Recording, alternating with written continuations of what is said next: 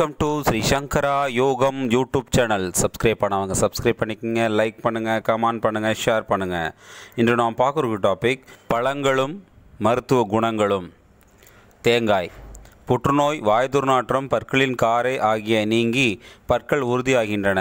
வழுக்கை தேங்காயை பழங்கலந்து நன்கு அடித்து கலக்கி சாராக்கி குழந்தைகளுக்கு நல்லுணவாக கொடுக்கலாம்.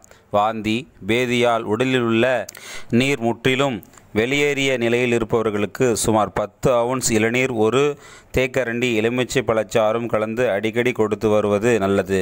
இவ்வாறு இளநீருடன் எலுமிச்சை பழச்சாறும் கலந்து கொடுத்தால் குழந்தைகளின் வயிற்றுப்பூச்சி உருண்டைப்புழு தொல்லை நீங்கும். மேலும் இளம் குழந்தைகளுக்கு பாலுடன் தண்ணீர் கலப்பதற்கு பதில் இளநீர் சிறிது தேனும் கலந்து கொடுத்தால் சிறந்த ஊட்டச்சத்தாக அமையும். சிறு காயங்கள் புண்களுக்கு தேங்காய் எண்ணெயுடன் சிறிதளவு மஞ்சள் பொடி கலந்து தடவினால் குணம் கிடைக்கும்.